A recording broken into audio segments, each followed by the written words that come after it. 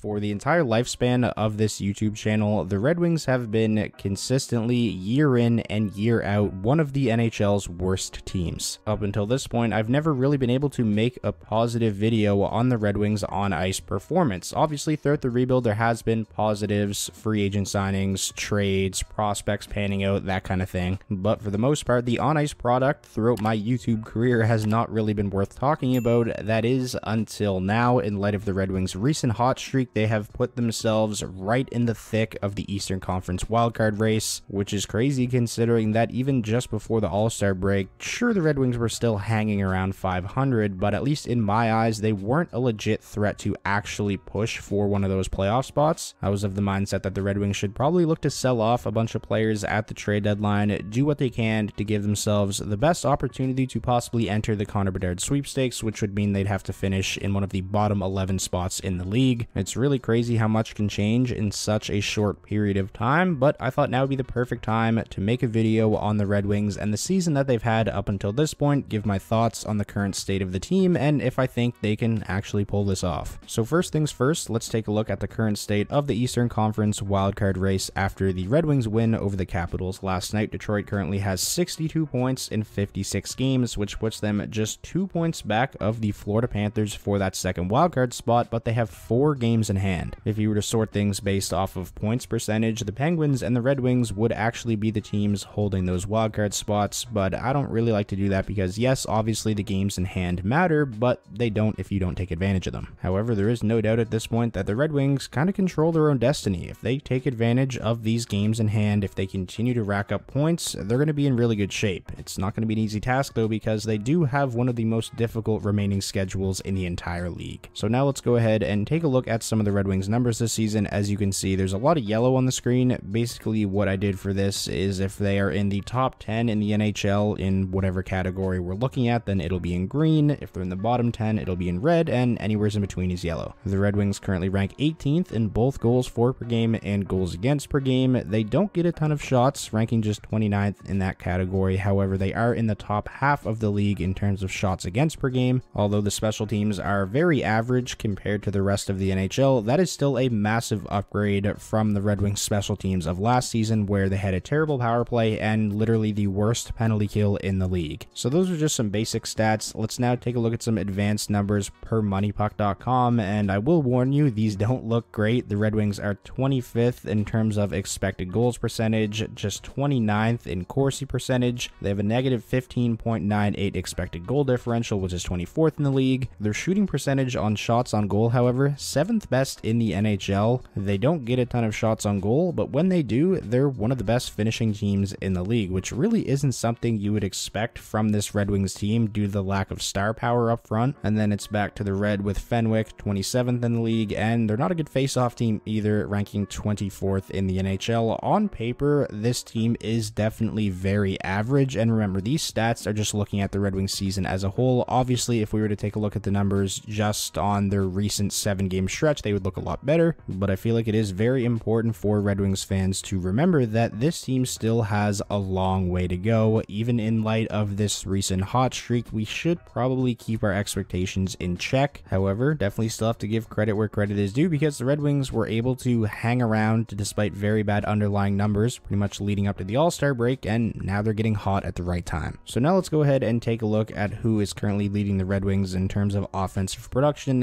Dylan Larkin, far and away the scoring leader, having a career year with 56 points in 55 games. Obviously, there is still that dark cloud kind of hanging over the team, which is him not having a contract extension in place just yet. But Pierre LeBrun recently did report that Steve Yzerman and Larkin's agent are not talking about an extension right now because he doesn't want it to be a distraction for Larkin amidst this playoff push, which definitely makes sense. Behind Larkin is Filip Hronek, who is also having a career year with 36 points in 56 games. Dominik Kubalik, also 36 points, 16 of those being goals. He's second on the Red Wings in goals this season. And then you have David Perron with 35 points and Lucas Raymond with 33 points. So two newcomers, two offseason additions for the Red Wings amongst their top five leading scorers. Perron and Kubalik have definitely came as advertised. If I was going to predict the top five leading scorers on the Red Wings heading into this season, it probably wouldn't look anything like this. I would have had Larkin and Raymond in there for sure, but then probably guys like Jakub Vrana, Tyler Bertuzzi. But of course, Bertuzzi missed a whole lot of time time this season, broke his hand twice, and Jakub Vrana has only played three games up until this point, which obviously sucks, but you can also take that as a positive. The Red Wings are still in a position to fight for a playoff spot, despite Bertuzzi and Vrana both having really difficult years. Moving on now from the offensive leaders, let's take a look at the Red Wings goaltending this season. Ville Husso has had a massive workload, and I feel like he's done great. 22, 13, and 5, 3 shutouts, a 2.9 goals against, a 905 save percentage, and a 1.91 goals saved above expected. Husso started the season really hot and then cooled off and I would say was below average for almost a month there, but now especially in this recent streak the Red Wings are on, Ville Husso has been a massive part of it and he's back playing at the level we saw him play at early in the season. And then Magnus Hellberg has done, I would say, a fine job as the Red Wings backup. He's 4 4 and 1 as a whole on the season, a 2.3 goals against and a 901 save percentage and a 2.57 goals saved above expected. Obviously, heading into the season, Alex Nedeljkovic and Ville Husso were expected to be kind of a 1A, 1B situation, but as we all know, Nedeljkovic has had a nightmare of a season at the NHL level. It ended up with him being waived, and now he's down in Grand Rapids trying to find his game again. But as a whole, I would say you can't be mad with the Red Wings goaltending this season. Sure, Ville Husso's numbers aren't up there amongst the best in the league in terms of goaltenders, but like I said, when he's on, he's on. His numbers just don't look the greatest because he had that really rough, like one month, month and a half stretch in there. I do want to quickly take a look at the Red Wings' upcoming games. Like I said, they have one of the most difficult remaining schedules in the league. Their next two games are at home against legit Stanley Cup contenders in the New York Rangers and the Tampa Bay Lightning, and then they're going to be going to play a back to back in Ottawa against a very desperate Senators team who are really only one hot streak away, like what the Red Wings are currently on, from being in a similar situation to the Red Wings. Next, I thought it would be fun to take a look at some playoff odds, and these are based off of MoneyPuck.com, and these are just the teams that are vying for those wildcard spots that I have on here. So the highest percentage is the Pittsburgh Penguins with a 56.9, and then you have the Florida Panthers with a 43.1, the Buffalo Sabres 34.3, the Islanders 28.3, and then the Red Wings at fifth of those you know teams in the wildcard race with an 18.9. The Capitals have an 11.5, and the Senators have a 9.5. So again, I feel like this should put into perspective that just because the Red Wings would be in there right now by points percentage, that doesn't mean all that much. They have to take advantage of those games in hand, and those games in hand are going to be against some really difficult opponents. And this model by MoneyPuck.com definitely takes that into account. I'm sure it also takes into account the Red Wings' really bad underlying numbers, which we looked at earlier. Honestly, though, no matter what happens from now till the end of the season, as a Red Wings fan, I can say I'm viewing this season as a success. My one wish for the Red Wings coming into the season was just to be able to watch meaningful games later on in the year, because the past few seasons, especially, the Red Wings have been pretty much completely out of the playoff race by December, and then that just makes the rest of the season drag on so long. It's just meaningless game after meaningless game. So the fact that we're watching the Red Wings still playing games that have playoff implications, and we're just a week away from March, that's all I really asked for coming into the season, so I'm happy. So that is pretty much going to wrap up this video where we took a look at the Red Wings season as a whole, gave you guys my thoughts on their current hot streak and their playoff hopes. I will say it was definitely nice to make a video about the Red Wings on ice performance and not have it be completely negative. It seems like they're really starting to turn a corner, which is definitely exciting. If you guys want to see more videos like this where we single out individual teams and really break down their season, then be sure to leave a like on this video. That's the best way to show your support